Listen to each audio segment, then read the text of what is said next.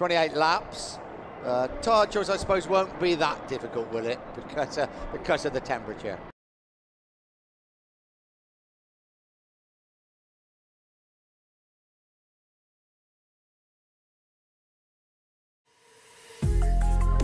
Twenty-eight laps. Uh, tire choice, I suppose, won't be that difficult, will it? Because uh, because of the temperature. No, it shouldn't be really any changes. We'll get the tyre sheets in a couple of minutes. They now go around and uh, uh, check all the all the riders to make sure they don't want to make any changes or they felt anything different on the warm-up lap because they can get quite a lot, lot of information just on that warm-up lap. But uh, it looks like there aren't many things going on. A couple of changes to uh, Toni Elias's bike, and I'm going to see if I can grab a, a word with Toni now. Toni, great qualifying position for you here. You've got a almost clear run down to the first corner, and you're pretty hot property at the moment now after your podium. How are you feeling today? Yes, the practice uh, was okay. The rhythm for the race was okay. I think will be difficult at the beginning of the race, but today uh, we are in the second row. It's uh, very good position for start. I will try to I will try to, to start well, and then we will see. I hope uh, I could follow the, the fast riders. Uh, I will try.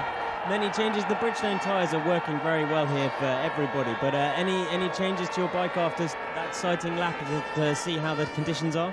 Yes, the Friday we had big problems. We we made a big change with the setup uh, and make result. Uh, I'm happy, really happy. Yeah, thanks, Toni. Thank Oh, Gavin, two of your heroes. Blimey, Diego Maradona.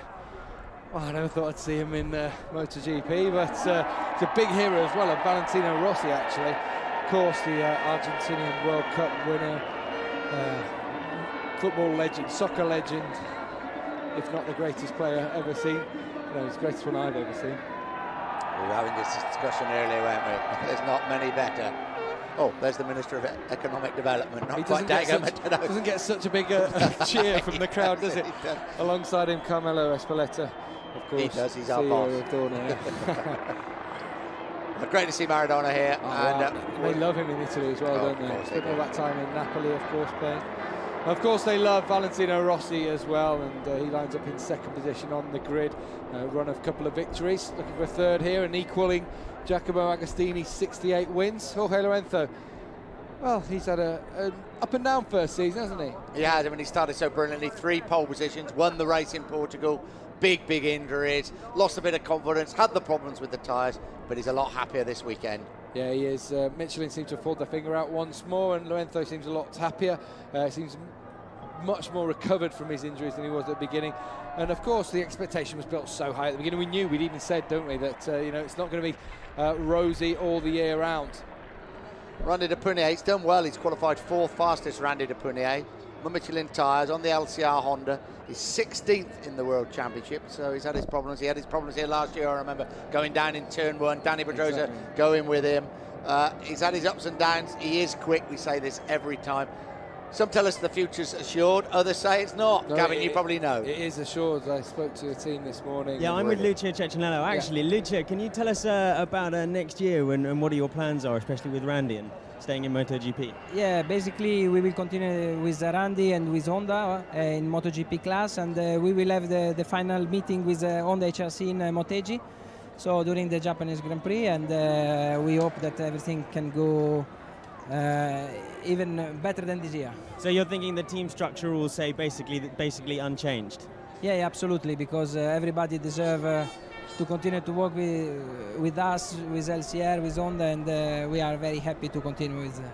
And for sure, Randy has found something, and Michelin have found something today. And uh, how, how do you feel his race is looking? well, of course, uh, will be like always a tough race. Uh, I can see that uh, Casey and Ducati has a better technical package, even uh, factory Yamaha, but uh, we will try our best to just be behind them. Maybe the first Michelin runner home. Thank you a lot, Lucio. Hopefully. so uh, we had uh, on the grid Toni Elias, who had a brilliant ride, brilliant, brilliant ride in Brno took second position there, of course. His season's back on track, fifth on the grid. Yeah, he was very confident. We just spoken to him, and alongside him was Dani Pedrosa. And I think we forget the cameraman didn't, didn't he? That he's still having problems with that left hand. Well, I think that's become more evident as Michelin's obviously worked a bit better this weekend uh, with the temperature rising here. Um, and it just seemed to show with Lorenzo was up there a lot on de Puniet. Pedrosa was just off the pace, wasn't he? And it just shows probably that hand still hasn't healed 100%. And he remembers last year because uh, we don't want to keep mentioning him, but he did get knocked down on the very first turn in a collision with Randy de Puniet. He's won uh, two Grand Prix this season, of course, and third in the World Championship. You reckon this man could be on the podium? He's in a rich vein of form, isn't he? Yeah, it just depends how the Michelin's work at the end of the race or which tyres are working better at the end of the race because Suzuki's, of course, had two bikes on the podium here last year. Vermeulen was second and uh, Hopkins was third. So uh, watch out for Chris. A couple of podiums at uh, Laguna and in uh, Germany as well. So he yeah. could come through towards the end. And Shinya Nakano is another one. Who's I've told everybody you think he could be on the podium. Oh, well, uh, yeah, it just depends how good a start he gets, really. Yeah, he's done well. Uh, fourth in Brno, ninth in the World Championship. As we say, score points in every round. Uh, he's done well. Chris Vermeulen, what was uh, sixth in Brno, so he really is in a, a, good run of form. James Toseland, good to see him back on the third row of the grid. He's 11th in the World Championship. He really has had a tough time with the tyres the last three races. Really, since Donington, it's not been easy for him when he crashed on the first lap, but he's a tough boy. Yeah, and uh, also Michelin have had their problems as well. All these riders have suffered at uh, the hands there, but uh, hopefully things are back on track now. Colin Edwards is focused and uh, ready for this one. A couple of disappointing results at Brno and, of course, in Laguna Seca as well. So uh, I was just telling people he scored four points in his last three races. That's his worst ever run in MotoGP. To say he had, well, to say up to that point, he's had his best ever season yeah. in MotoGP. Yeah. I mean, he's someone who scores consistently well. Loris, well, 277 that's Grand right. Prix. He's going to do it. We didn't want to say too much, so he actually went out for the race, did we? No, well, you've got to be careful. We missed yeah, a couple of races earlier on this season. Alex Barros is on 276. Looks like uh, Loris Capirossi will be on 277. Lives very close to here. If he finished on the podium as he did in Brno, it would be his 100th podium finish as well. So it's a big race for Loris Capirossi. Riding for the first time, nearly 100% fit, and that's important. Although it's been disappointing in qualifying. So Italy in 12th, he's been told, unfortunately, that uh, he, uh, his services won't be required for next season. And that's disappointing for him because we've seen glimpses of uh, some superb performances from him. That sixth place in Sachsenring in the wet was a great result. Just at the, the last couple of rounds, Laguna and Brno just dropped off towards the end of the race, had a couple of problems with tyres, so a little bit disappointed there. It's a shame. We hope he can find the spot in another team because we think he's got talent. This is George's party mate. Alex DeAngelis, as he was telling us uh, earlier, 13th in the World Championship, his first appearance on a MotoGP machine in front of his home crowd because he really does come from San Marino. Actually, Misano isn't in San Marino, but it's very, very close. I don't think you could build a circuit in San Marino, could you? It's just on top of a big rock. Yeah. But, uh, interesting to see how Alex DeAngelis goes. Alongside him, on the fifth row of the grid. He's qualified 14th fastest, and then the other Italian. So Andrea Dovizioso has had a really tough time in qualifying because he's had such a great year. Uh, what, ninth, uh, fifth in the World Championship. First Michelin man home in uh, Brno in ninth place. Uh, but problems in qualifying. But yeah, it was just in the qualifying. He actually wasn't too slow in the rest of practice. So don't be surprised to see him make his way up through the order. He's had a really good season, fifth in the championship, uh, Dovizioso. Is he going to go to Repsol Honda next year? well, they may be stalling a bit. Stalling at the moment. He's on money. no. He's asking for a bit more.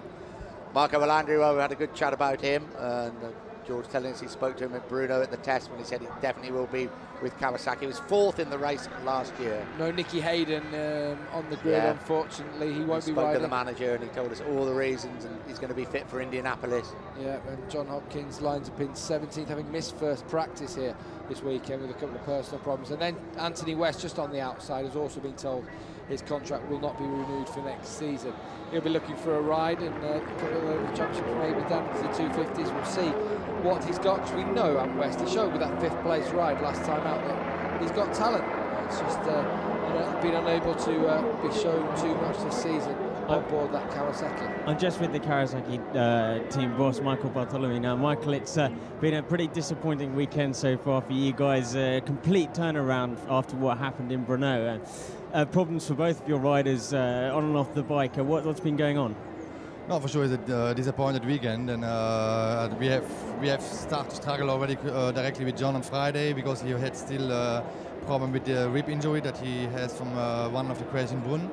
So in the first thing in the morning, we was thinking only to lose the Friday morning, but in the, in the end also we lose the afternoon. So he had only two hours to set up the bike, and this make it quite difficult on this track. Anthony, for sure, for this moment, he's he's struggling. So it was, I think, it was a uh, good race that he did in Brno, but now he's coming back to this that he has difficult to find the rhythm, and he's complaining the same thing on the bike as before. So I hope that uh, both now can try to make the best race out of this starting position that we have. Having having watched Anthony out on the track a little bit, he doesn't seem to be struggling so much with the rear grip. And I know you had some new developments in Renault that were supposed to to save that. He says he's got problems with the front. What is it about this track that's not working with your bike? Yeah, I don't know. We both riders complaining so much shattering, you know. So we have somewhere we have a uh, problem with the front because with John is the same, and there for sure we was missing these two hours to solve the problem because he's quite uh, he can help us to solve problems like this, but in this moment, really, we can only hope that we can make something good today. And maybe with Brno, you've got long, sweeping, fast corners with flat track, and here you've got small, short corners, lots of bumps. So, you know, maybe just the chassis is not quite right for this sort of circuit. Maybe it doesn't work on, on both types just yet. No, for sure. You know, it is always it is difficult to build a bike that is working well on uh, 18 circuits, but uh, for sure this year I can say that Misano is one of the worst one that we was until now. thanks a lot, and best of luck for the race. Thank you. Well, here we go. 28 laps. Rossi versus Stoner, Lorenzo and a few others probably joining in the fun. It's a cracking front row. Seven successive poles with Casey Stoner, Valentino Rossi and Jorge Lorenzo. Just behind them on row two, it's Randy de Puniet, Toni Elias and uh, Dani Pedrosa. Well, it will be soon. There it is. Uh, Depunier heading up that second row. Watch out for the Spaniards, though. Uh, Elias looking strong in recent weeks. Dani Pedrosa could be uh, uh, making his way through later on in the race. Third row, Chris Vermeulen in a good run of form at the moment on the Rizla Suzuki. Shinya Nakano, fourth in Brno, and James Toseland back on that third row. Colin Edwards, Loris Capirossi setting that record amount of Grand Prix starts, and Sylvain Guintoli on row four. Row five, Alex De Angelis, Andrea Dovizioso, and Marco Melandri. Nicky Hayden won't be there on uh, row six, but John Hopkins and Ant West will be. So, two weeks ago, was rather like this in Brno, wasn't it? There was a lot of tension in the air. Casey Stoner made an electric start. Valentino Rossi started to peg him back. Uh, Casey Stoner crashed out and then couldn't get back in the race. A bit of gravel had got in somewhere, prevented him getting back on the end. The carburetor stopped the engine, and uh, consequently, he lost 25 World Championship points. 50 points between them. you got to say, Casey Stoner's got to fight back if he's going to pull back that advantage. Six rounds to go. Rossi with the crowd willing him on.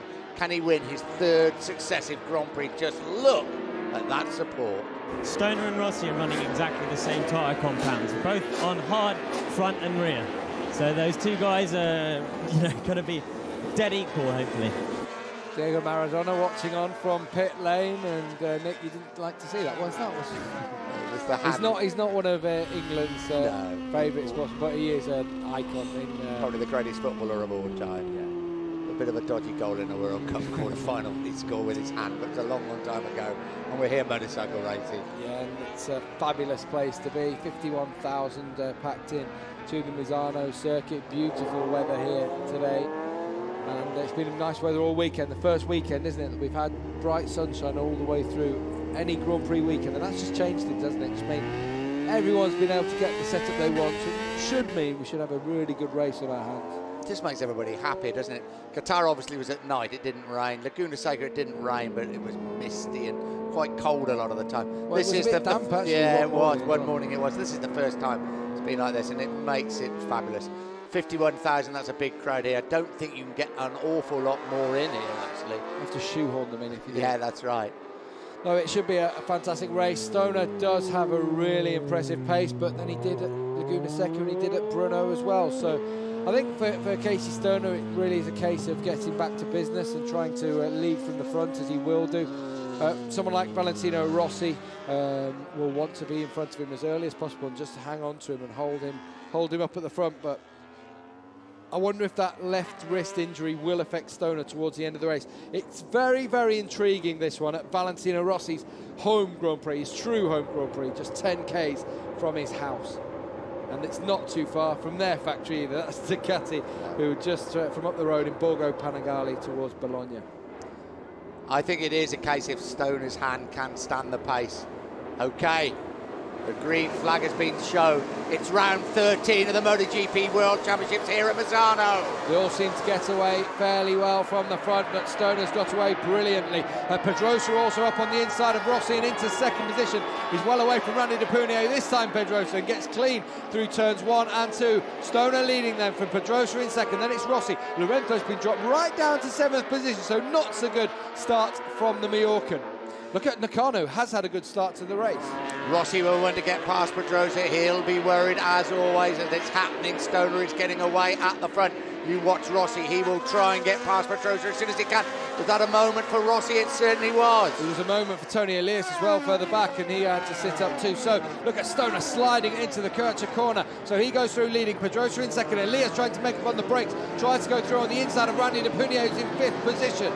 Jorge Lorenzo's moved up to fourth place in that kerfuffle, isn't he? Yeah, so it's Rossi third then, Lorenzo fourth, Elias fifth, and Shinya Nakano coming back at de Puniet and goes right into fifth spot. Well, cuts across and gone very deep in there, Nakano, and loses a couple of spots. But Casey Stoner has got away at the front on the Ducati through the very fast right-hander. Dani Pedrosa, Valentino Rossi, Jorge Lorenzo. Toni Elias and uh, just in behind then Punier, Nakano, and uh, just there as well, Toseland and then uh, Andrea Dovizioso had a very good start to the race, but the gap is already 1.4 seconds between Stoner and Pedrosa. We said this could happen because he really does have a good pace going, in this case Stoner here this weekend. Pedrosa uh, doing well to hold off Valentino Rossi at the moment. Just wonder how his hand's going to hold up as well. That looked like a big moment for Valentino Rossi. It really oh, did oh, drop crasher, and it's Randy De Puniet. Goes down on the first lap. Let's hope he's okay, but down in the final corner of the circuit. That means Nakano's up to sixth, Toseland's up to seventh. Well, it happened on, he didn't finish the first lap last year, and he hasn't managed it this year either. So the battle for second place.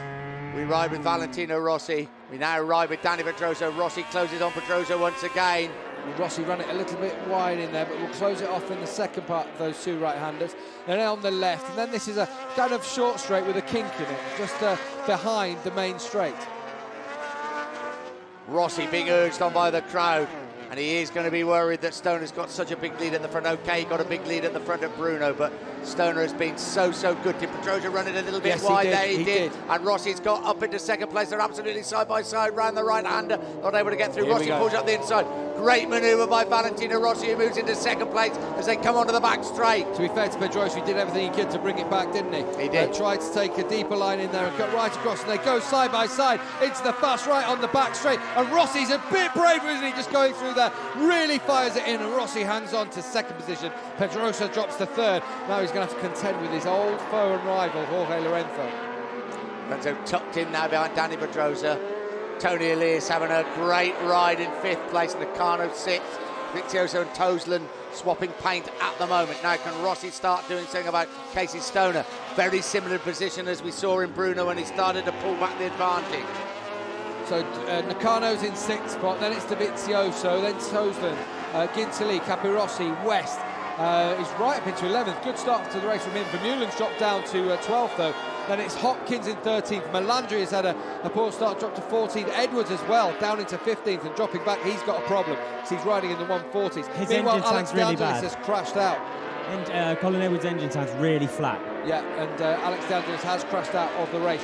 What a disappointment for him riding uh, in MotoGP in front of his home fans here for the very first time. The only San Marino rider uh, in the World Championship now after Manuel Poggiali retired this weekend.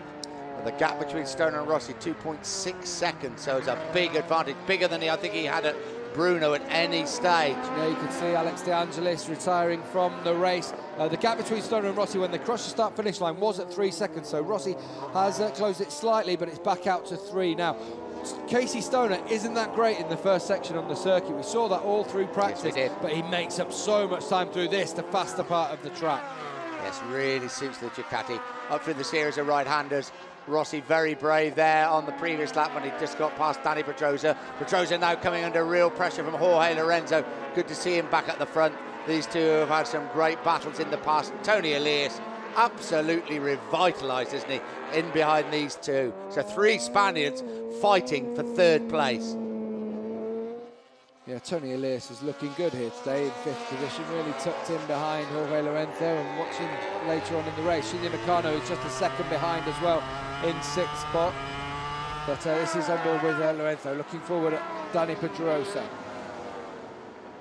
These two really no love lost between them whatsoever. It's very hard to even get them to talk to each other. Uh, the two golden boys of Spanish motorcycle racing, aren't they? 125 uh, riders, and Pedrosa winning the 125cc championship, then the 250s, and of course Lorenzo, the double 250cc world champion, who won the 250cc race here last season. Toni Elias is right with them. He's not too far behind. Meanwhile, the gap between Stoner and Rossi stands at 2.9 seconds through the first section, but that means that Stoner will pull out now. Uh, just when they go through the second split time, I'm sure he'll have pull out, pulled out a gap. Um, go through the Quercia corner, this uh, left-hander, and then it's into the first of six consecutive right-hand corners. Yes, the gap between Stoner and Rossi now at 3.3 seconds virtually. Yeah, the, the Yamaha's more nimble, isn't it, through that tight, twisty section. But when the Ducati can open the throttle and Stoner can really get it go, he does pull away. Elias isn't being left behind, is he, by these two at the front? Now, they're both on factory bikes, factory Honda and the factory Yamaha, and that's a satellite Ducati just tucked in behind. I wouldn't be surprised if Ducati had seen Elias' results and said, here, have another couple of extra bits. So this was uh, a moment for Valentino Ah, Rossi on the first, first lap. That cost him a position. That's when Randy De Puniet was still in the race. Just a cold tyre there, I think. It was, but uh, he, he was desperate for um, Stoner not to get away, and it must have been a bit of a shock for that to happen and slowed his progress, and he had to work hard to get past Pedrosa. He's got a mammoth task on his hands now if he's going to catch Stoner. But he's going the best way about it. Just set the fastest lap of the race so far, a 135.1. The gap between Stoner and Rossi, though, still stands at three seconds. And already we could be seeing Stoner just managing the gap. He likes to keep that sort of distance. There is the uh, crash for Randy De Puniet on that first lap, and more disappointment for him and the LCR team. I wouldn't like to count the number of crashes he's had in races. I'm going to try it now. So he, in the Jerez, he crashed in Portugal, but finished the race as well. Uh, then was the Mugello as well, Catalunya, uh, Holland as well. That was more Valentino Rossi's fault. The problems in Brno too, where he came over in And 16th. Jorge Lorenzo has now got up in front of Dani Pedrosa. Yeah, and uh, the factory Yamahas are looking good, aren't they? They are looking very good indeed. Of course, Lorenzo on Michelin tyres, and Valentino Rossi on the Bridgestones, and Toni Elias. Oh, how he'd love to beat these two, wouldn't he? That would, I mean, it would really make his season, I think, rather than his weekend. All they talk about in Spain and uh, when they talk about motorcycling is about Pedrosa and Lorenzo, Lorenzo and Pedrosa. Toni Elias didn't get a mention. Last week, when they both finished down the order and he was on the podium, he loved it. Absolutely loved being the shining light for a week. This is the battle for third place. 23 and a half laps to go. It's an all Spanish battle. Jorge Lorenzo right back into the thick of things. It's a really difficult time for the double 250cc world champion. We now switch to his teammate Valentino Rossi. He's closed down quite a lot in that third split. He's been very, very quick through there. And uh, the gap now at 2.9. Meanwhile, Stoner has set his own fastest lap, but he's in the mid 35s. In practice, oh, so Toni Elias goes through and up into a third position. Uh, fourth position, sorry. Great uh, overtaking manoeuvre there by Toni Elias past Dani Pedrosa. I think it caught Dani Pedrosa a little bit by surprise. But we're looking at that gap at the front. Can Valentino Rossi start to close him down? Is, is Casey Stoner just keeping something in the bag because he was running in the 134s comfortably throughout the whole of free practice?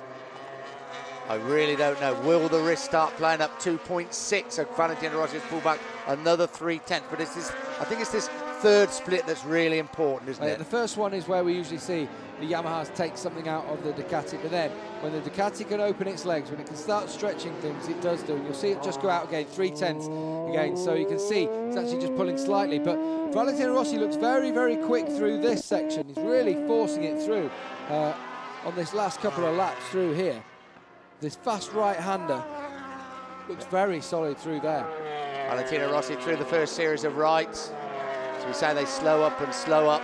125s it's difficult, 250s it's difficult on MotoGP. It's very, very difficult indeed. This is Shinya Nakano and Andrea Dovizioso fighting it out for sixth place. James Toseland just involved in that battle also, so he can watch on uh, and enjoy this one. Dovizioso takes the title line, trying to get out of that corner uh, quicker than Nakano, but Nakano's obviously holding him up, riding a very, very defensive line. Dovizioso desperate to get past. Uh, it's good for the sport to see the Michelin riders able to compete with the Bridgestone riders. At Brno two weeks ago, this just would not have happened, would it? Wouldn't at all. Meanwhile, Toni Elias is through on uh, Dani Pedrosa. Um, yet again because it looks like they switched around for a second. Meanwhile, uh, Valentino Rossi and Casey Stoner have just traded fastest laps, and Rossi coming out on the better, 134.9 now. How much can Stoner up the pace? He hasn't got to up it that much, has he? Because it's so, so close, those uh, respective lap times. This is one hell of a battle for sixth place. Nakano six, Dovizioso seven, and James Toseland right in there in eighth place. Dovizioso piling the pressure on Nakano, but at the moment, he's not succumbing, the Japanese rider. They can see confirmation of Valentino Rossi's fastest lap on lap six of six, uh, 22 to go, well, 21 and a half now. Yeah, we're getting all excited, but there's a long, long way to go. And if Rossi can claw back tenths here and tenths there, it could still be close by the finish. And don't forget Casey Stoner and this broken scaphoid, re-broken. It's like riding with a dislocated thumb, he said. Uh, strapped up it may be, painkillers, I doubt that he's taken, but it must be very, very difficult for him. He's tough. The Ducati now beginning to twitch, well, and every twitch must go through that, that hand. Definitely, but that, that time through the third section, he was quicker than Rossi and took more time out of Rossi. So I wonder, on that last lap, Rossi was about 10th quicker than Stoner. It will be interesting to see this time around. Obviously, the board's going to be telling him, look, Rossi's right on your tail. Um, just see, yes, he's pulled it out once again as Casey Stoner there. Just found something in that third section. I think the tyres are starting to come in for him. He's going to start dropping his times. He stayed in the 134s. Rossi drops to a 135.1 on that lap. I just got a little bit of news on Alex De Angelis. He's come back from the pits and he's okay, but he says going through the fast right-hander, turn 11, uh, Marco Melandri was in front of him and actually shut off the throttle, which made Alex hit the back of Marco Melandri. He managed to stay upright, uh, but then two corners later, he just lost the front and, uh, and crashed out. So he actually hit Marco Melandri. Did Marco Melandri have a massive crash there last year in uh, practice at turn 11, I remember. Finished fourth in the race, but it does appear that uh, he may have caused a few problems there unwittingly for Alex De Angelis. Lorenzo in third position. It's good Spanish battle, this isn't it, for the final uh, position on the podium. Toni Elias won't let this one out, of course. Oh, and that's Casey Stoner. That's Casey Stoner who's down for the second race in succession. Casey Stoner has dropped the Ducati. What is it this time? He's walking away. Casey Stoner is walking away from the race here in Misano. Is he walking away from the MotoGP World Championship title? It does not appear he had the strength to pick the bike up. It's just uh, I think that's turn, end. the right-hand turn coming into the back straight, isn't it? Here we go, we ride with him. Double right-hander. And just coming for the apex of the second, just goes down, just pushing it too much. Down he goes. So, Casey Stoner for the second racing succession has dropped the Ducati and you can hear the fans are going wild about that because Valentino Rossi is leading in his home race. Rossi leads the way. Casey Stoner trudges away.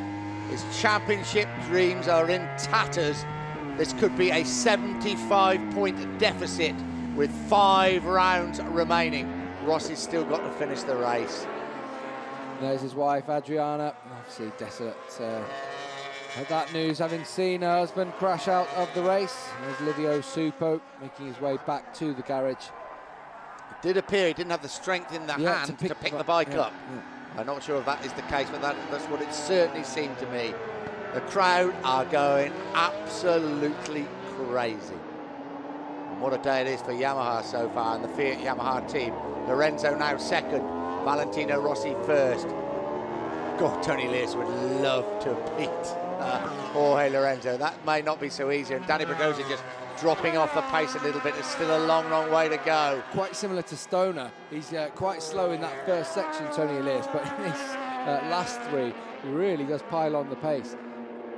Really closes up on Jorge Lorenzo when they come towards this uh, section of right-handers. And now where Valentino Rossi is into the double left. Then we'll bring them back into the start-finish straight. So Rossi has a 2.8 second lead over Jorge Lorenzo.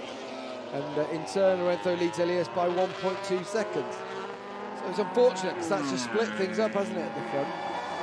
That's the second race in, well, the third race in succession that Casey Stoner has crashed in uh, Laguna Seca. Obviously, he's managed to get back on the bike, finish second. Bit of gravel in the carburetor meant he couldn't do that as James Toseland tries to get up the inside of Shinya Nakano. Does only try. He has succeeded. Into sixth place then for James Toseland. Well, we saw this kind of form at the beginning of the year for Toseland. Uh, since those crashes at Donington Park, it hasn't looked so good for him. But this is him fighting back, isn't it? A track that he knows, a track that he's been to, and he seems to be uh, working it. He does. I believe uh, he made a big choice about his tyres right from the start of the weekend, said what he wanted, stuck with uh, getting a race set up correct with the tyres, and it does seem to be paying off. He was very disappointed yesterday. He had a big moment coming into the start and finish straight.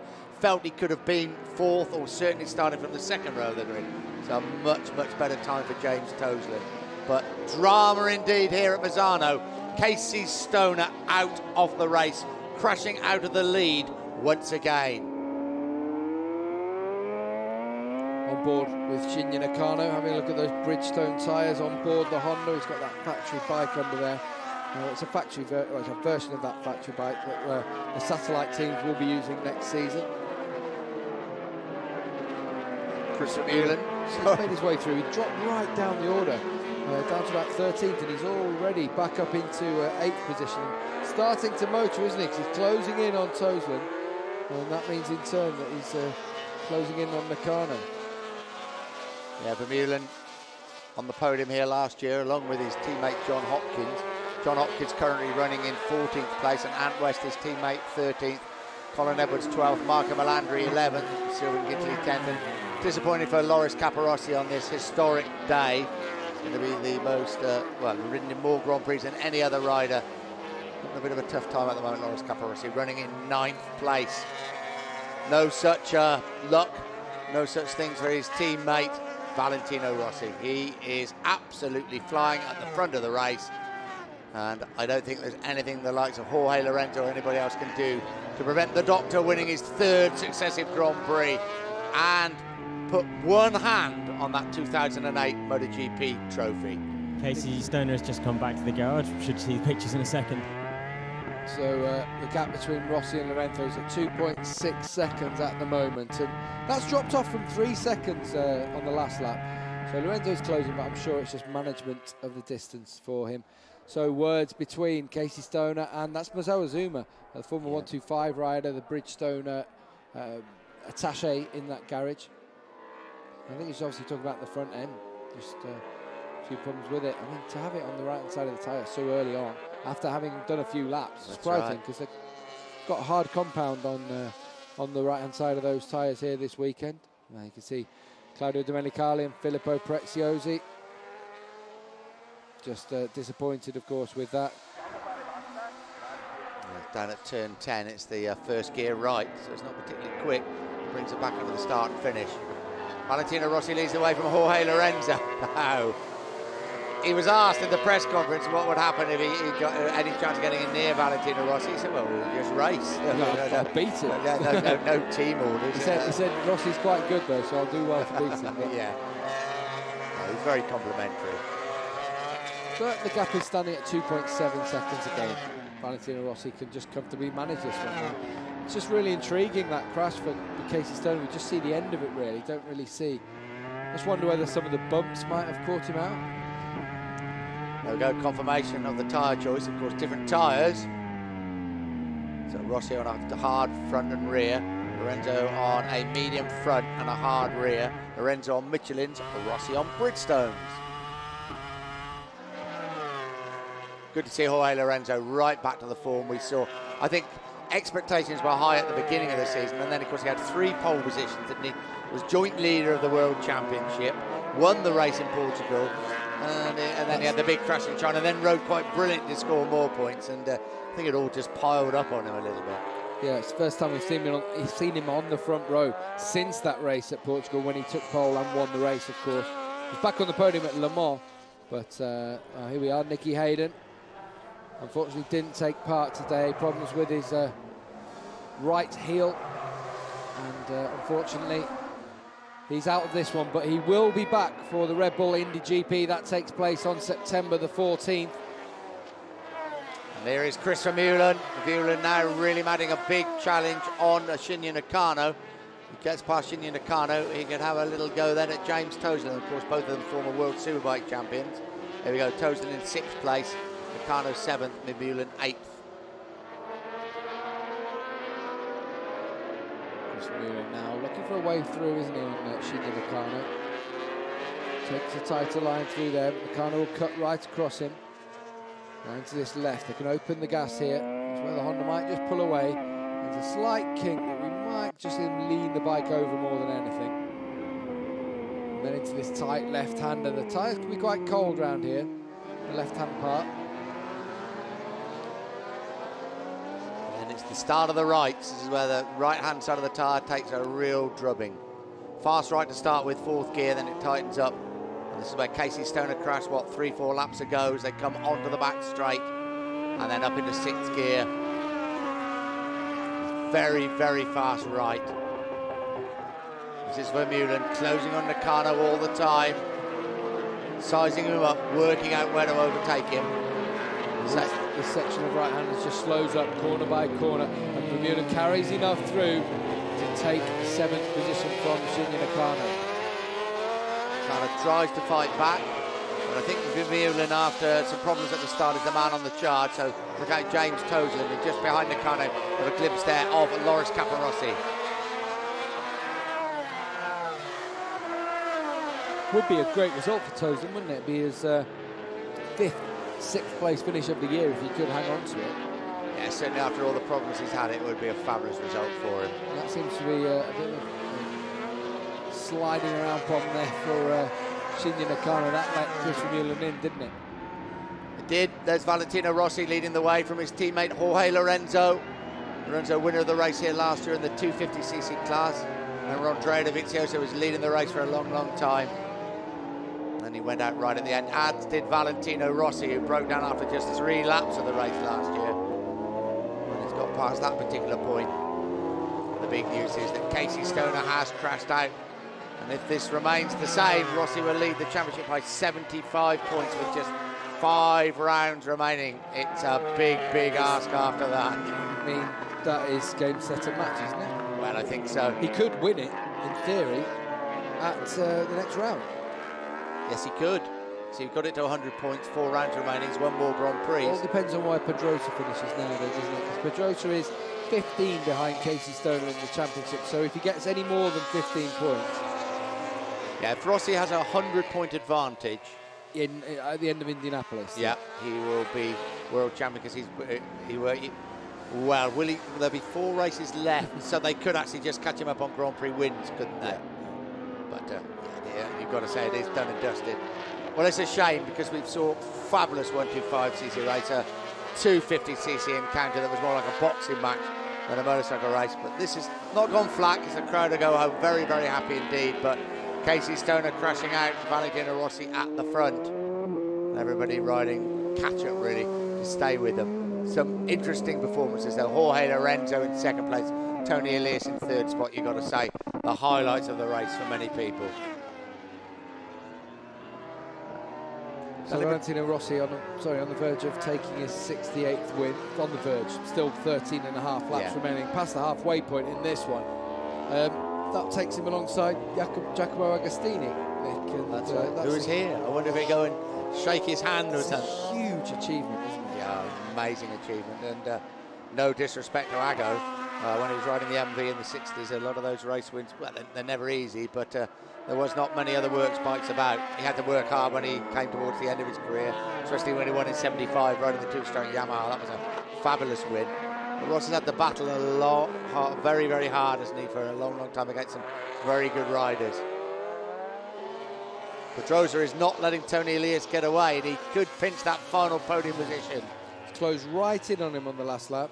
I wonder if uh, Toni Elias just having a couple of problems with the tyres, just uh, bouncing about a bit. Now, what are people going to say if Pedrosa does get past Elias? What are people going to say about the tyre uh, regulations? All this talk about one tyre, but there could be two Michelins on the podium here. Okay, guys, I've got a little uh, something special for us now. I'm going to put my headphones and give my microphone to Nicky Hayden, who's going to chat to you guys for a little bit. Well, that's great to uh, know that uh, we're going to be speaking to Nicky. Uh, Nicky, obviously, uh, you're not racing here today. It's got to be a big disappointment, but saving yourself for Indianapolis? Yeah, pretty much. I mean, as the weekends went on, it's uh, certainly made things worse and worse. I started out the first session sixth and then 11th, and kind of worked my way backwards. And uh, woke up this morning and my foot was not going to fit in a boot today. So, uh, yeah, I try to save it for Indy, but it's quick time, so try to get as healthy as I can and uh, get ready to go home. I've seen uh, you walking around the paddock with that that cast, or it's like a plastic cast with some electrodes coming out. Just explain what, what treatment you're having to have done. Uh, it's just a stem unit to you know try to promote the get rid of inflammation and uh, speed up bone healing. So uh, I'll try anything doctors say. And what about the, the tyres here? We're seeing now your teammate Dani Pedrosa closing back in on Toni Elias. What, what about the Michelin tyres? How are they working in terms of uh, race distance, in terms of how well they're lasting? Yeah, the tires were uh, working quite well this weekend, especially the rear. We were having a few little front issues, but you know, Michelin seems strong when they have data from the track from the year before, so that's a bit of a worry for Indianapolis. But for here, yeah, Lorenzo seems very consistent, and uh, yeah, I don't think there's a whole lot in the tires this week. Indianapolis, Nicky, it's a massive race for you, isn't it, and the whole of America.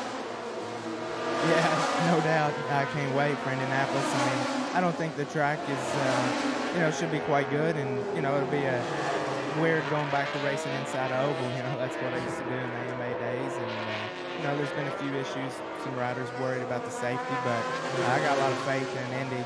Those boys, they don't play. They know how to put on world-class events, and uh, obviously, you know, things for me have been a struggle. So uh, going home could be good for me to uh, try to go home and uh, you know try to get a result. Well, we'll see most of Owensboro down there. Thanks a lot for uh, for joining us, Nicky, and we hope you get well soon. We hope you're back fighting fit at Indianapolis. Cheers yeah, that, Nicky. Thanks. I mean, it's certainly a tough time, but my team's hanging in there, and I got a lot of support from my, uh, you know, team and my fans. So, uh, yeah, I just can't wait for Indy. Just get healthy and try to go there and uh, try to get it. Thanks very much, Nicky. Cheers for your peace. time. 11 and a half laps to go. Valentino Rossi comfortably at the front still, keeping it nice to around three seconds. Toni Elias coming under pressure from Dani Pedrosa. This is the battle for third place. Dani Pedrosa right on the rear wheel now of Toni Elias. Of course, Elias second in the race in Brno just two weeks ago.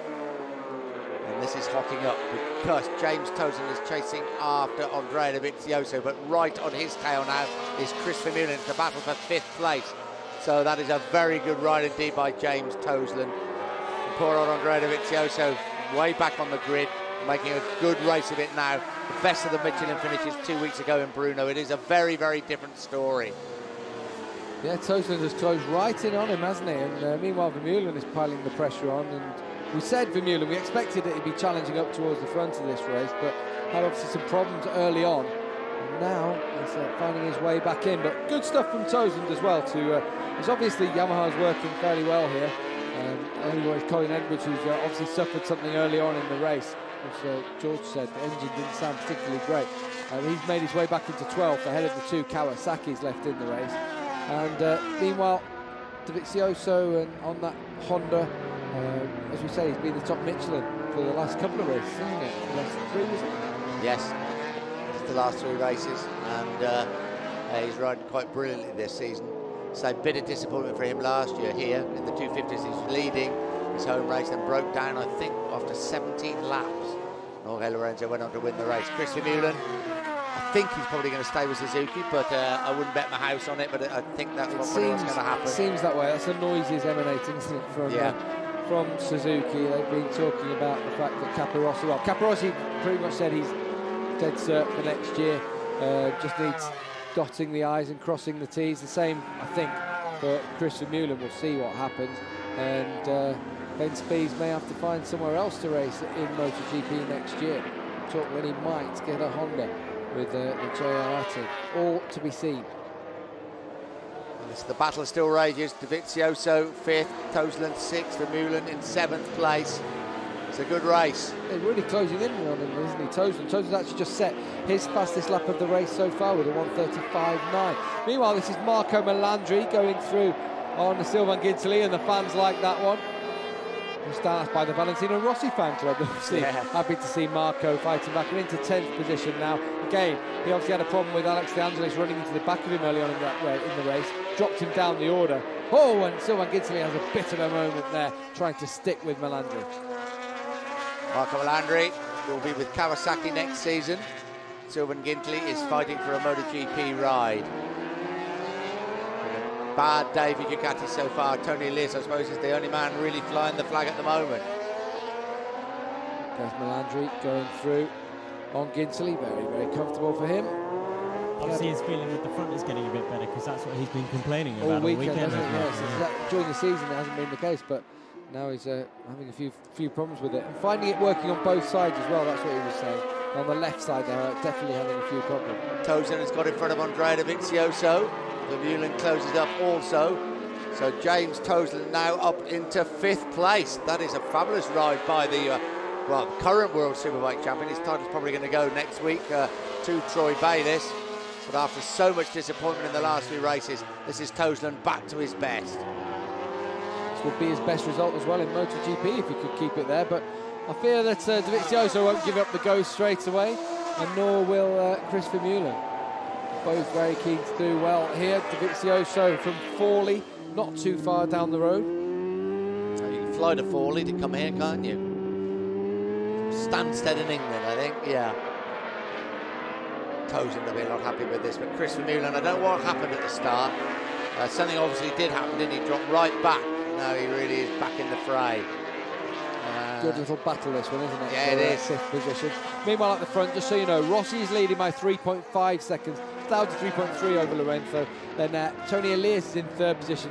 Dani Pedrosa has actually dropped back again to about a second now behind Elias. Then James Toseland here is in fifth position and uh, 11 seconds down on Pedrosa with Dovizioso and Vermeulen in close attendance. See Capirossi as well, just trying to get in on the act here. Yeah, just got a glimpse of him. Nakano's ninth, Melandri 10th, Guintoli 11, Edwards 12, West 13, and poor old John Hopkins down in 14th place. The big news is Casey Stoner crashed out of the race while leading. And perhaps any chance he had of retaining that world title disappeared in that moment.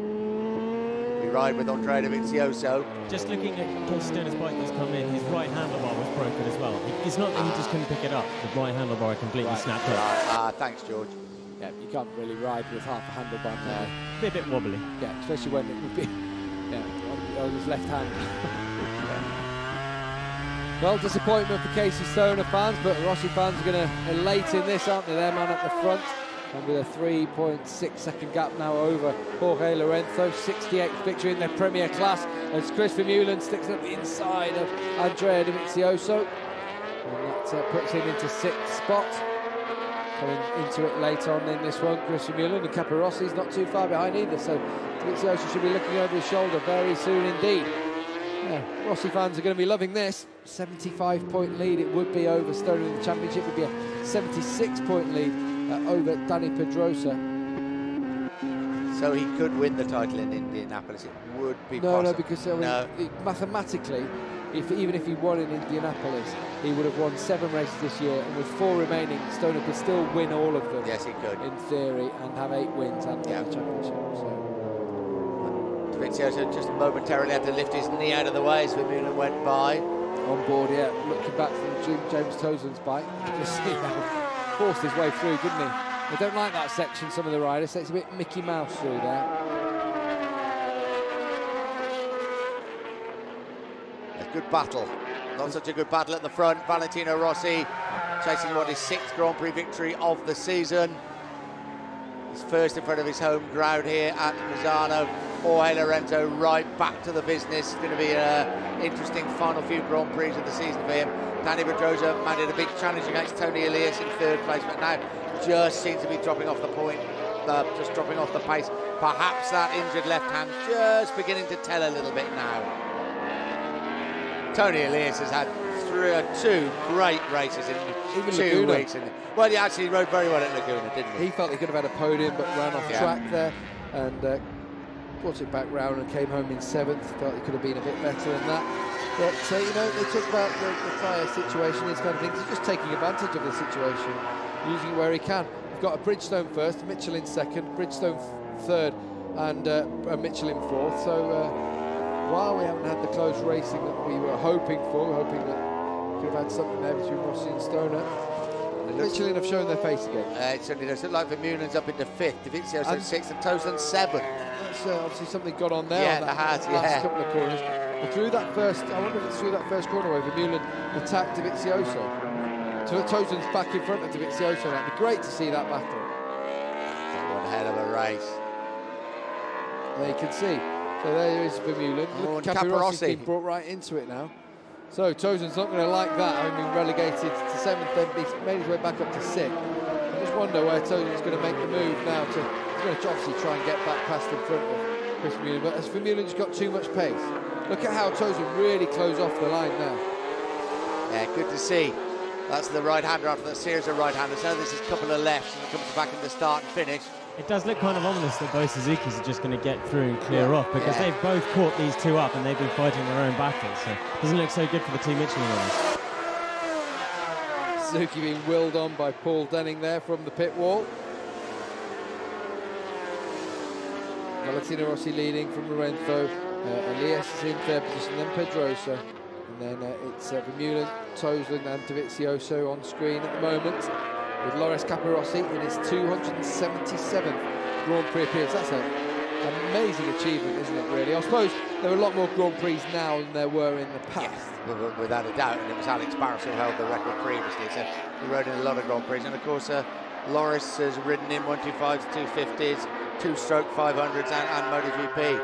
And what I remember him winning that first world title 1980, no, 1990 in Phillip Island in Australia. Little did we realise he'd still be around in uh, 2008 and still capable of winning races or finishing on the podium as he did at Brno just two weeks ago.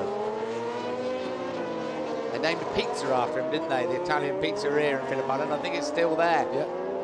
Uh, Isola de Capri, is it? Or is it no, it's, uh, uh, uh, Pinos. Yeah, I, I forget what it's called now. Guys, I'm just going to interrupt you briefly because I've got uh, Filippo Preziosi here with me, who's the, the, the well, the genius behind the uh, the Desmo Sedici, uh, the GP07 and the GP08. And Filippo, it's, it's obviously not been quite the season that everybody at Ducati was was hoping for, especially after this latest uh, latest drama. But the bike is still fast. I think the bike is a good bike.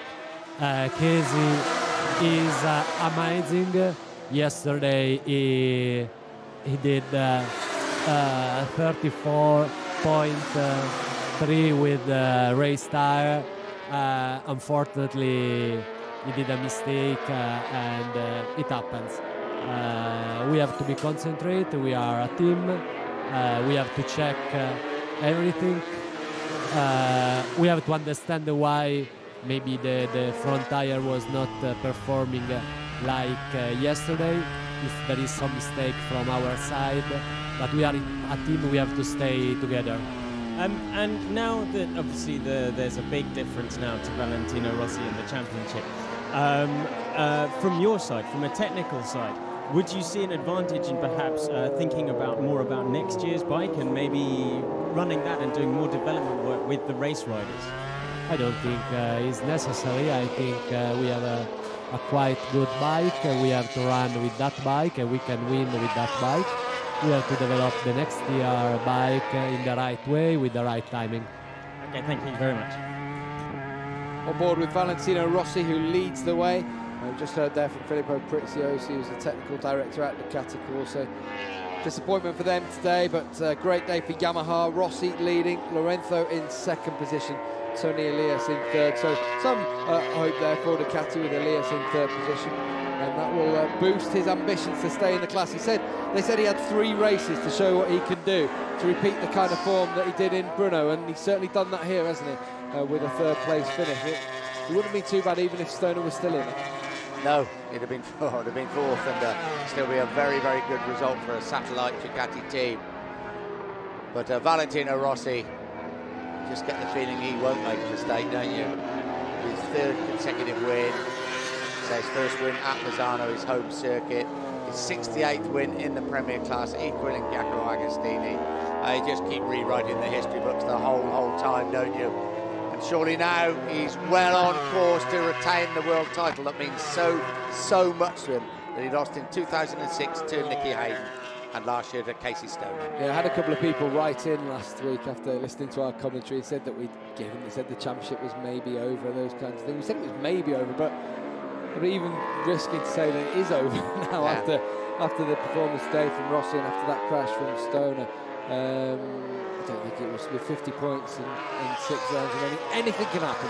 We know anything can happen. There are five races remaining in the championship. 125 points up for grabs, but uh, after that one, it's. Uh, well, I think everyone's going to Indianapolis for the first time. It'll be different, difficult for anyone to take a running jump at that one and to really uh, pull out a big lead. I think so. Uh, Yeah, then after that, of course, we've got back-to-back races. We've got back-to-back races in Japan and Australia, and also Malaysia and Valencia.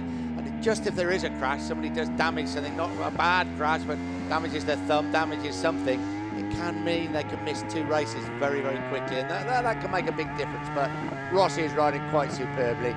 I don't know what will happen if Casey Stoner hadn't crashed today. Nobody knows. You can surmise all day long, can't you?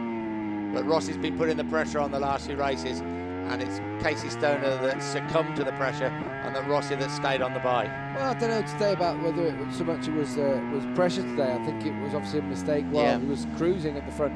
The gap had not moved from you know 2.7 to three seconds. In fact, it was just opening up slightly. But really, it's just a, a, another mistake which he didn't need at that moment in time. I'm wondering, you know, about the tyres, those kinds of things. But they've worked fine for Rossi today, and he's, uh, to be honest, he's only been off the podium twice this season. There was that crash in Assen, that was the biggest blip uh, on the Yamaha calendar this year, and at Qatar as well, just early on in the season, just didn't have things quite right. But they've done their work so far this year, Yamaha and Valentino Rossi, and deserved everything they get from it to be on the podium at every single round. Well, you know, uh, apart from those two, that's an impressive, impressive achievement. Be a sixth victory for him this season as well. Just shows that he's been battling at that highest level all year. 29 years old, he used to come here and look through the fence at people racing at Misano. Says it's not his favourite circuit, he didn't want everybody to hear that because uh, it's so, so close to his home. This place is due to go absolutely crazy in about one and a half laps' time. Valentino Rossi, it'll be his third successive win. Did we realise when we had that battle at Laguna Seca just how this championship would pan out. I think we hoped it would be like Laguna Seca all the way through, right to the finish, but it hasn't turned out like that. And full marks to Rossi. Great ride by Jorge Lorenzo. Really good to see him back in the fray, and he's going to be very, very close. isn't he? Here's Toni Elias, just about eight seconds down on Lorenzo. Then Pedrosa is now five seconds behind Elias. So Elias has that spot in the bag. He hangs it on. Two podiums in a row. It's a really good achievement for the Leacher team. There's Paolo Campinoti, who's taken over the team after uh, Luis D'Antin uh, was uh, basically thrown out by the rest of the team. He's not there anymore. So Campinoti in charge of that team and doing a very, very good job, you have to say. Uh, Pedrosa's in fourth. Then it's Vermeulen in fifth. James Toseland is in sixth. And Loris Capirossi has finally got back past uh, Andrea So There you can see Capirossi in, in seventh position, just behind Toseland. Toseland's going to have his work cut out to keep Capirossi at bay. Capirossi and Dovizioso in front of their home crowd. They're going to be desperate to take the Britain, aren't they? They certainly are, and for James Toseland, uh, I would say a sixth place would be great. An eighth place he'd be really disappointed with, wouldn't he? But the two Italians will try everything to get past him. We're on the last lap. Valentino Rossi surely now en route to Grand Prix win number six this season. His 68th Premier Class win, probably more important than any facts, figures, stats, and everything else. Valentino Rossi will open up a 75 point lead in the championship over Casey Stoner. thing is, his 68th win coming when he's 29. Nine, yeah. And he's got a lot more left in him, hasn't he? He's got another couple of years, he says, with Yamaha now. So uh, he could just keep going and going, couldn't he? He's coming under attack, James Toseland. He's holding firm at the moment, It's but it's gonna- be tight, isn't it? It's going to be a great last lap, this one for Toseland. He takes a very tight line in there, forces Capirossi to run it a bit deep, and Dovizioso is going to take advantage of that now. This could help Toseland, couldn't it? As Capirossi goes back underneath Dovizioso. Brilliant stuff. Oh. They battle out for sixth position, and uh. Just what Toseland needed, that wasn't it? It really was because they are getting other. Look at Loris Capirossi, he's a man inspired, 35 years old, trying to outbrake James Toseland into that left-hander. Amazing bit of braking though from Capirossi. He brings it round. Meanwhile, Toseland now he's going to come under attack from Capirossi. Can Toseland just slide it back underneath him? He's going to try and do so, and he does. Now they go into the back straight. This is a good battle off the sixth place between the Tech 3 Yamaha on Michelin's and the Rizla Suzuki on uh, Bridgestone tyres. And of course, Andrea Dovizioso on that Scott bike on the Michelin's. Here comes Rossi, though, to claim victory number 68 equal with Giacomo Agostini, the most successful rider in MotoGP history. Jorge Lorenzo finishes in second place. Great ride by Jorge Lorenzo. Toni Elias on the podium for the second Grand Prix in succession. What a ride by the Spaniard. Dani Pedrosa back in the points, finishing in fourth place. Now, what is going to happen behind? We've got Chris Vermeulen fifth, but who is going to finish sixth? They come across the line now. James Toseland has done it. James Toseland, what a ride by the Brit. Sixth place, Loris Capirossi seven, Andrea Dovizioso in eighth place. Valentino Rossi ready to celebrate yet another Grand Prix victory. He's rewriting the history books. He could regain that world title he lost two years ago. We've lost him in the crowd. Confirmation of the result. It was a foregone conclusion following the crash of Casey Stoner.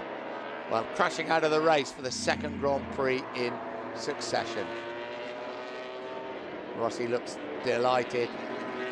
His fans, his friends from home, the whole of Italy stand up to celebrate. The world title now is surely on its way back to the 29-year-old Italian.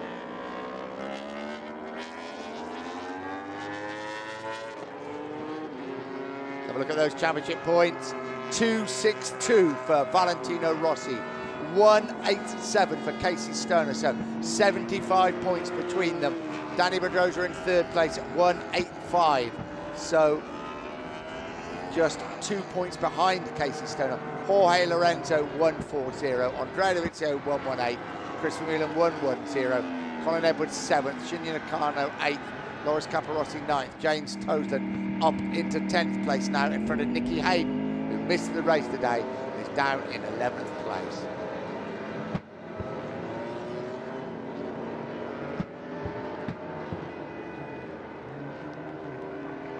This is Jorge Lorenzo. Well, he won here last year in the 250s. What an impact he's made in MotoGP. Ride with the man.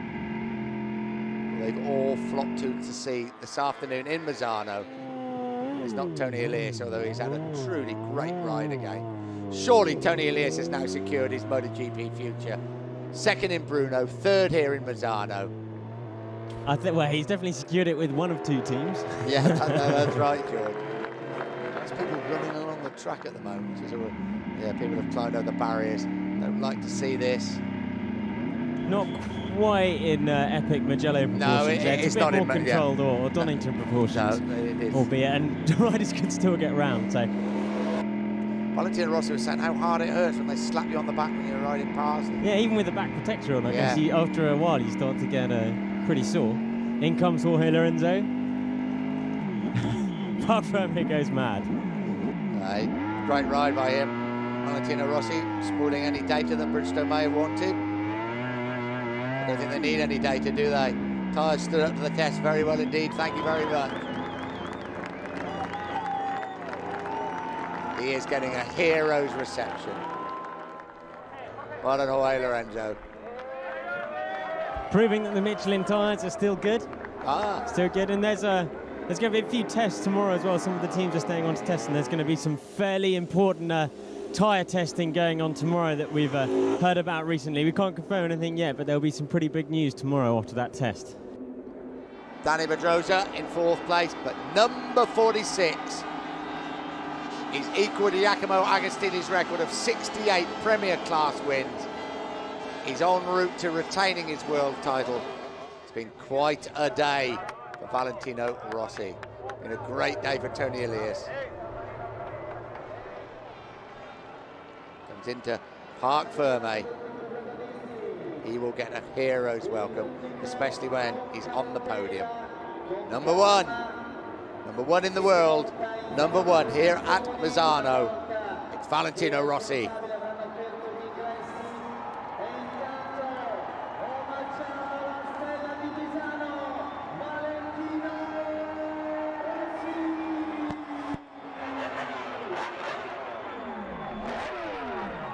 Can hear, he's back in Parc Ferme and he's happy.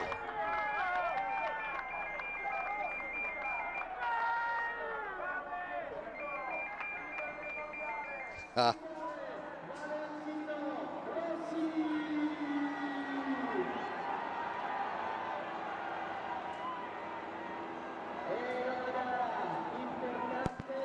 Wild celebrations.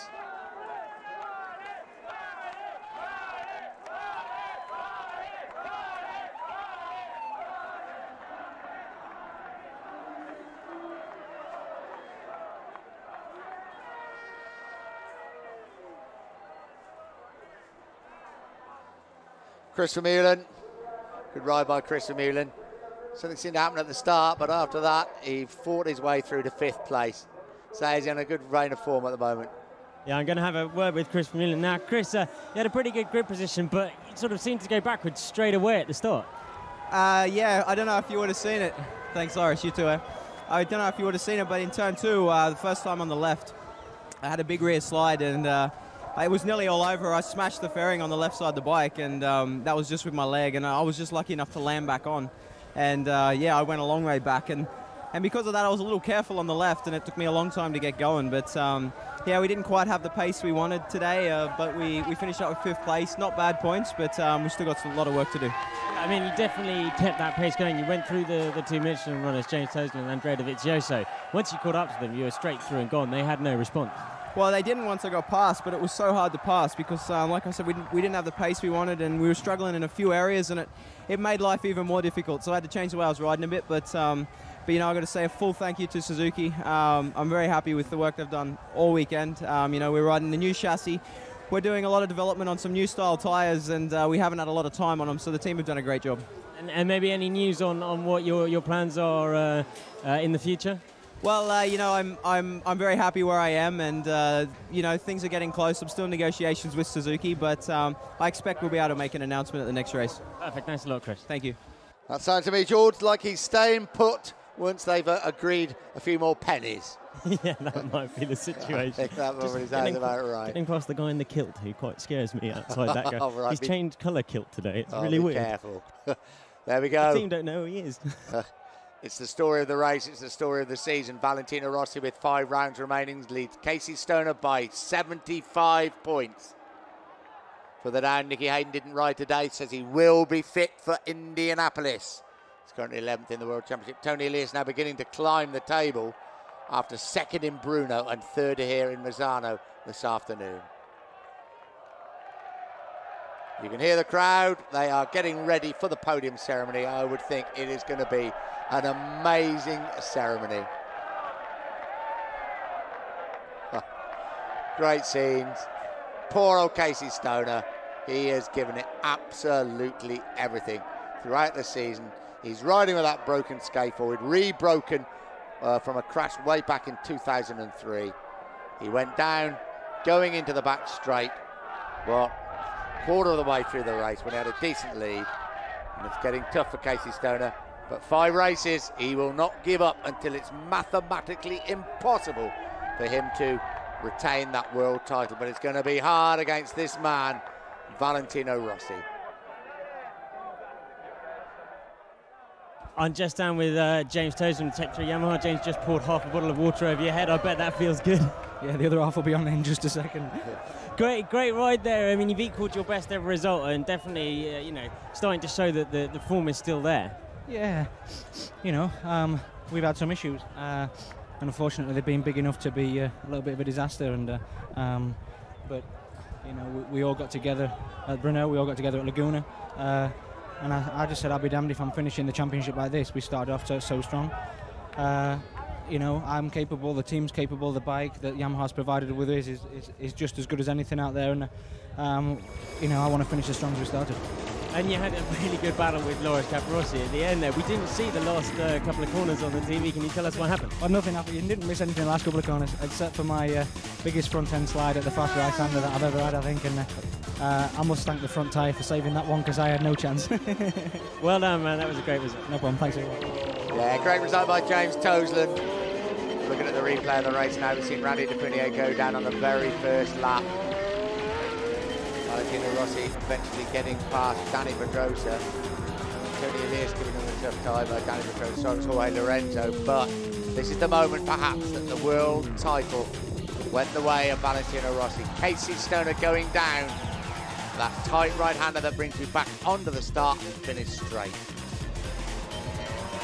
The handlebars are broke for the Ducati. There was no way he could get back in the race, and he's had such cruel luck, Casey Stoner. Okay, when he crashed in Laguna, he managed to get back on. But Brno was a stone in the carburetor, and now a broken handlebar. Diego Maradona enjoying everything from the sidelines. A big fan of Valentino Rossi. Rossi, a massive fan of him. James Toseland having a great battle. Andrea Dovizioso, Chris Vermeulen. Joining in the fun a little bit later on will be Loris Capirossi.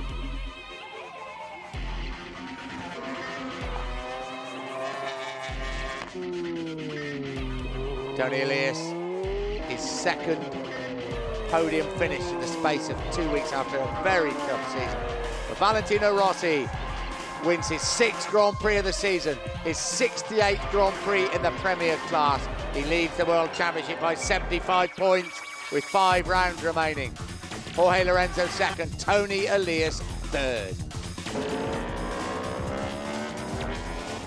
There'll be celebrations long into the night on the Adriatic coast of Italy this evening.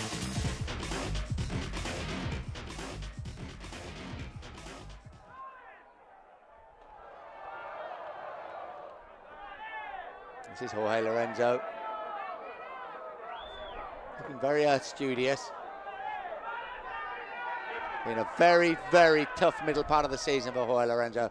Big, big crash in Barcelona, bad concussion. The crashes in China when he broke both his ankles. Big crash in Laguna Seca. He's back. He will be a big, big threat in 2009.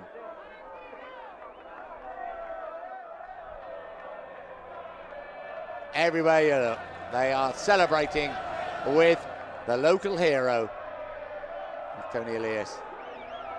I said, he said to us last night, we look forward to seeing you in the press conference. Well, he's done it, hasn't he? That's fabulous. Surely now he's assured his MotoGP future. Remember in Portugal two years ago when again his future was a bit in doubt, he rode quite brilliantly to win the race. The race in which Dani Pedrosa and Nicky Hayden crashed.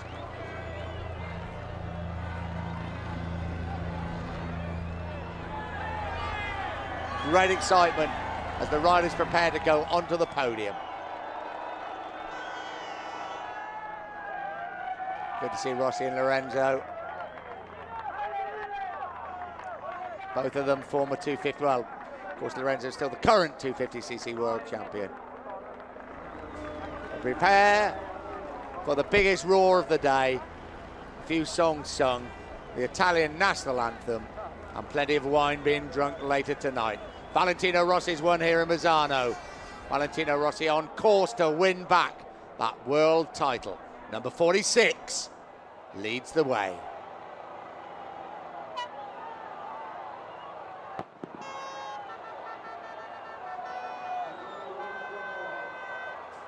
Shake of the fist. What a last three races it's been for Valentino Rossi. Really starting in Laguna Seca, carrying on in Brno, and then three in a row here in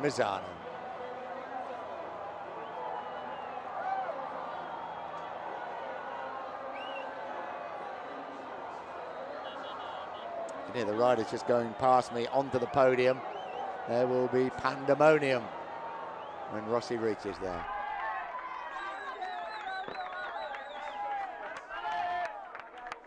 Here he comes.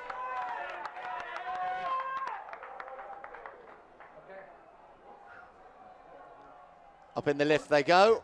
No room for Gavin in the lift. Oh, I don't know, he may have got in.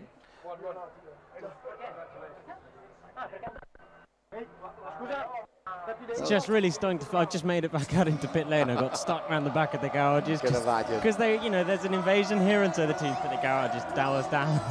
Probably it's quite really filling up here now. I can see Really it. starting It's streaming down. Yeah. It's all pretty been pretty dignified so It is. far. It's all everybody's. There are a few people running, but uh, Yeah. it's just a general sort of exodus towards the podium. Well, not exodus, but the other word. You know, one I can't think of at the moment. It's too hot. It's too hot out here. Here we go, out of the lift. Valentino Rossi, any moment now, will appear on the podium here at Misano, alongside him Toni Elias in third place, and his teammate, Valentino Rossi's teammate, Jorge Lorenzo in second place. Okay, listen to the entrance of the King. The King of MotoGP in Italy lives just round the corner. You can almost see his house from the podium. Valentino Rossi has won here at Misano, and this is what the crowd think about it. Here he goes.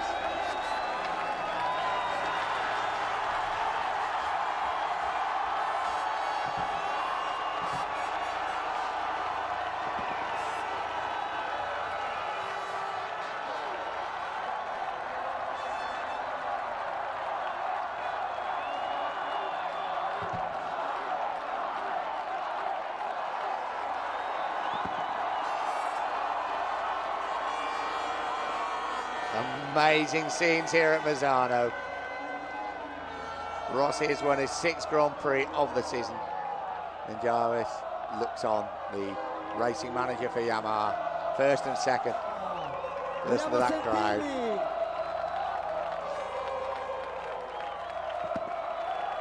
Everything else is drowned out. Toni Elias, what a third place from Toni Elias. Jorge Lorenzo gives him a really good round of applause, as does Valentino Rossi. Toni Elias will be back next season, of that uh, there is no doubt. al talento spagnolo di Palma di Mallorca. So from Mallorca, he's 21 years old, he's the 250 world champion, he's back on the podium in MotoGP, is Jorge Lorenzo. A questo punto ragazzi ci siamo. But now, Ministro del Turismo the moment this vast crowd have been waiting for. Just look at that support. He is a god in this part of the world. He's won at Misano, his 68th Premier Class victory, his sixth of the season. Ladies and gentlemen, Valentino Rossi. Valentino Rossi espugna Misano. Allora sul podio anche il responsabile del team Fiat Yamaha, il presidente della federazione motociclistica internazionale, il dottor Vito Ippolito, premia il dottor Masahiko Vito Nakashima. Ippolito, the president of the FIM. Yamaha, of course, receiving the team award for Yamaha first and second. But now, the moment we've been waiting for. It's the Italian national anthem. Inno nazionale italiano.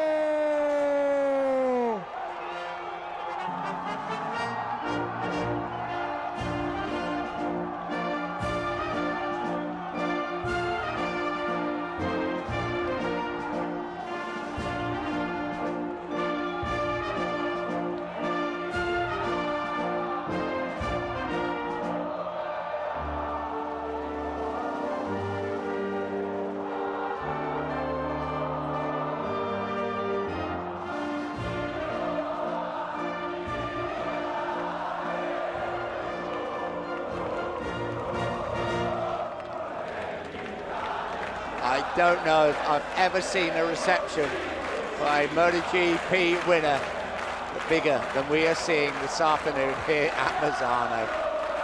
Just amazing scenes for Valentino Rossi. The boy from over the hill from the circuit. He's returned home he's won this race and he's on course to regain the world title he lost in 2006.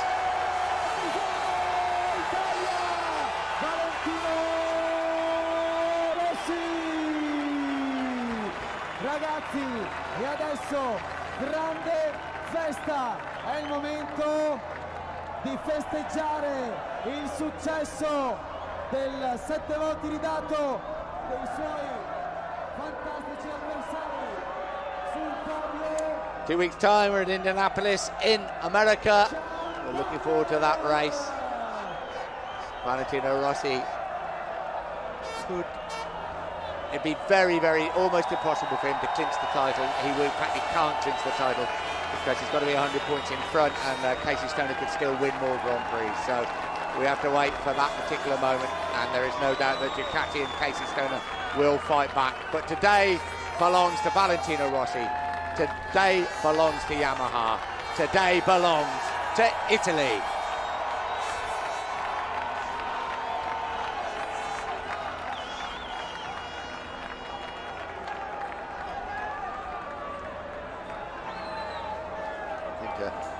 A few knee sliders are going to be thrown into the crowd by Valentino Rossi.